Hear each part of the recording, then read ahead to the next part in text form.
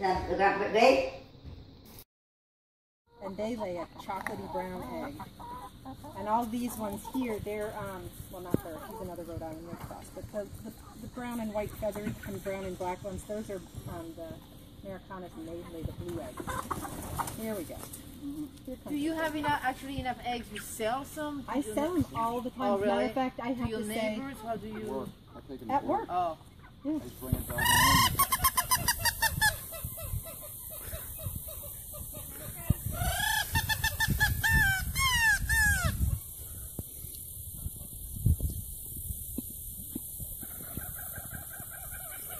We go. You get them talking now.